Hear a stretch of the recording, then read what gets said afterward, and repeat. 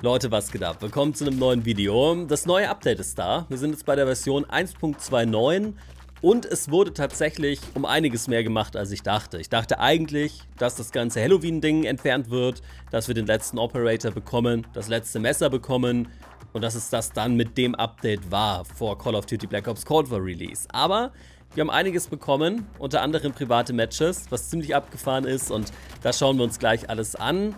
Es ist so, dass wir vor einigen Tagen eine kleine Meldung in MW und in Warzone bekommen haben und da würde ich davor ein bisschen drüber sprechen. Und zwar, ihr seht die Meldung im Hintergrund, stand irgendwie im Spiel, dass die ganzen Waffen aus Cold War schon am 13. November zu Warzone kommen. Was ein bisschen komisch war, weil Activision davor gemeint hat, dass das alles am 10. Dezember passiert mit dem Start von Season 1 für Cold War. Und ja, es ist so, dass das eine falsche Meldung war. Activision hat irgendwie mit Charlie Intel gesprochen. Ihr seht die Meldung im Hintergrund und die haben bestätigt, dass es nicht so ist, dass die Waffen am 13. November kommen, sondern dass die Waffen wirklich erst am 10. Dezember kommen. Also da gab es irgendwie ein bisschen Kommunikationsschwierigkeiten innerhalb von Activision und die Meldung wurde gepusht obwohl es nicht mehr gestimmt hat. Wahrscheinlich war das anfangs irgendwie geplant. Kommen wir zum Update. Da ist es erstmal so, dass die ganzen Klassen von MW und Warzone getrennt worden sind. Das heißt, ihr könnt jetzt eine Klasse in MW bauen und die wird nicht übertragen zu Warzone.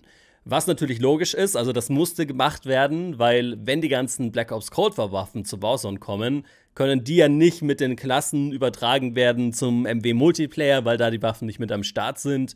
Und diese Trennung wurde halt jetzt schon vorgenommen. Das heißt, äh, Warzone ist jetzt damit noch mal mehr ein eigenes Spiel geworden. Ich habe ja schon gemeint, man muss eigentlich diese drei Games als einzelne Games sehen, also MW, Warzone und Black Ops Cold War. Und das ist halt jetzt noch mal der nächste Schritt. Die ganzen Klassen werden nicht mehr übertragen, was jetzt am Anfang auf jeden Fall ziemlich cool ist für alle Leute, die halt MW spielen, den Multiplayer spielen und Warzone spielen und finden, dass da irgendwie zu wenig Klassen mit am Start sind. Also ich bin immer zurechtgekommen, aber so ist es schon um einiges cooler. Wusstet ihr außerdem, dass über 50% von euch noch nicht abonniert haben? Falls ihr das gerne nachholen wollt, klickt einfach auf Abonnieren, ist komplett kostenlos, ihr verpasst keine Videos mehr und es supportet mich krass, würde mich auf jeden Fall freuen. Eine sehr interessante Änderung, die gemacht wurde mit dem Update, ist dann, dass die ganze Installationsgröße reduziert wurde um 25 GB in dem hohe Texturen von Waffen und Operatoren entfernt worden sind. Die kann man auf den Konsolen mit einem extra Texturenpack nachladen, sind aber nicht ganz so wichtig. Und am PC ist es so, dass man diese Texturen über Texturenstreaming runterlädt, während man spielt, was ein bisschen komisch ist. Ihr seht das alles im Hintergrund. Man kann das auch stoppen, man kann einstellen, wie viel runtergeladen werden soll und so weiter allerdings nur, wenn man auf hoch spielt. Das heißt, wenn man die Texturen auf mittel oder gering hat, dann ist es nichts, was man braucht. Und es ist so, dass da eben wirklich nur die ganzen Waffen- und Operator-Texturen betroffen sind. Das heißt, man kann auf hoch spielen. Die ganzen Maps sind dann ja in dieser Texturenauflösung eben auf hoch, Waffen und Operator eben nicht. Warum das jetzt genauso gemacht wurde, warum am PC alles mit Texturenstreaming stattfindet und warum man da nicht einfach auch ein Pack runterladen kann, ich habe keine Ahnung, so wurde es aber allerdings gemacht und Infinity Ward selber meint, ähm, auf den Konsolen wird dieses Texturenstreaming noch nicht unterstützt. Dementsprechend gehe ich einfach mal davon aus, dass Texturenstreaming die bessere Lösung ist. Ich finde es aber ein bisschen komisch. Aber gut, das ist jetzt gemacht worden. Ich denke, die meisten spielen, gerade wenn sie Warzone spielen am PC, wahrscheinlich eh nicht auf hoch, weil das Game eh schon nicht perfekt läuft. Von daher ist es wahrscheinlich eine Sache, die für die meisten erst gar nicht zutrifft. Dann gibt es mit dem Update tatsächlich die Möglichkeit, private Spiele zu starten. Leider nicht irgendwie mit einem Einladungscode wie bei Fortnite, das wäre geil gewesen. Man muss, wie es aussieht, wirklich alle Leute in der Freundesliste haben, was ein bisschen schade ist, aber man kann sich ja vielleicht irgendwie einen neuen Account machen und da dann alle einladen, damit man privat spielen kann. Und ich bin gespannt, was Activision davor hat. Ob die irgendwie in Richtung E-Sport gehen wollen. Wenn nicht, ist das trotzdem ziemlich cool für irgendwelche Turniere, die auf Twitch und so weiter stattfinden. Und es ist auch so, dass diese ganzen Spiele auf offiziellen Servern gehostet werden. Also es ist nicht so, dass irgendeine Konsole das stemmen muss oder ein PC das stemmen muss, das ganze Hosten stemmen muss, wie das bei ja, Multiplayer-Spielen ist, wenn man die privat startet. Hier wird wirklich alles auf den Activision-Servern gehostet. Deswegen gibt es leider ja eine kleine Limitierung. Und zwar ist es so, dass man, wenn man Battle Royale starten will, mit mindestens 50 Spielern starten muss. Wenn man Mini Battle Royale starten will, mit mindestens 24 Spielern. Und bei Plunder muss man mindestens 30 Spieler sein. Ich denke, das wurde gemacht, damit jetzt hier nicht irgendwie 100.000 Leute ein Game starten und nur eine Person über die Map rennt und die Server komplett überlastet sind. So ist es eben ja der Fall, dass sich viele Leute zusammenfinden müssen, damit man dann letztendlich spielen kann. Die Möglichkeit, irgendwie Vorschaubilder zu machen in einem privaten Warzone-Map, hätte mir schon gefallen. Aber ich verstehe, warum das so gemacht wurde. Und das ist alles noch eine Beta. Das heißt, hier kann es noch zu Fehlern kommen, zu Crashes kommen.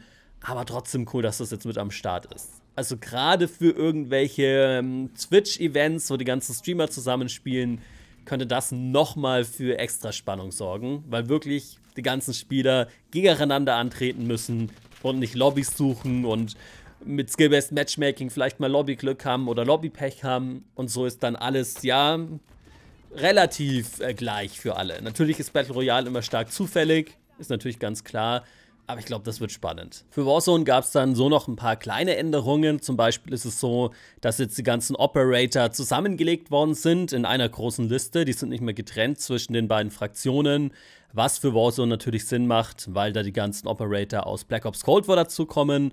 Und da macht es ja dann keinen Sinn mehr, die zu trennen. Im Multiplayer ist es immer noch getrennt, da kommt ja eben auch kein Cold War Content mit rein. Ich muss ja sagen, ich finde die Liste hier fast ein bisschen netter als mit den beiden Fraktionen. Schön übersichtlich auf jeden Fall. Man könnte vielleicht noch eine zweite Zeile machen, aber auf jeden Fall äh, vernünftig, dass das jetzt hier so zusammengelegt worden ist. Es gibt dann tatsächlich noch eine neue Bestenliste und zwar die Bestenliste Rebirth, also Wiedergeburt. Und damit wird so ein bisschen angeteased, was uns erwartet für Warzone in der nächsten Zeit.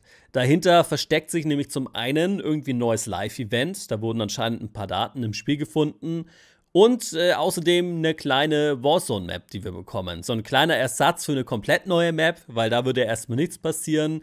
Und was wir da bekommen, ist wohl Alcatraz aus Black Ops 4. Das hatte ich ja schon in einem anderen Video kurz angesprochen. Und Alcatraz wurde in den Daten von Warzone gefunden mit einem neuen Design und das wird alles so ein bisschen, ja, Sowjet-Style ähm, aussehen. Und ja, ich habe Bilder gesehen, sieht ziemlich cool aus. Ich kann jetzt hier leider nicht einblenden, aber ich glaube, da erwartet uns was ziemlich abgefahrenes. Und in Black Ops 4 hat diese Map absolut Spaß gemacht, hat mir persönlich mehr Spaß gemacht als die normale Blackout-Map und glaube, das Ding kann auch in Warzone ziemlich abgehen und das wird eine kleine, absolut actionreiche Battle Royale Map, auf der es auf jeden Fall zur Sache geht. Glaube ich, hoffe ich. Bin ich sehr gespannt drauf. Das wird halt auch irgendwann in der nächsten Zeit passieren. Ein Zeitfenster gibt es dazu jetzt leider natürlich nicht. Äh, wahrscheinlich mit Season 1 kann ich mir vorstellen. Müssen einfach mal abwarten. Sobald es da weitere Infos gibt, werde ich euch natürlich darüber informieren. Und ja, das war's mit den großen Änderungen und kleinen Änderungen, die vorgenommen worden sind. Neben den ganzen Fixes und so weiter. Das heißt, Bugfixes gab es natürlich auch wieder. Und wenn ihr irgendwelche Probleme hattet vor diesem Update, dann sind die jetzt hoffentlich behoben. Und ja, das war's mit dem Video. Falls euch das Video gefallen hat, lasst eine Bewertung da. Für weitere Call of Duty Videos lasst ein Abo da. Wir sehen uns wieder zu einem neuen Video. Macht's gut, bis dahin.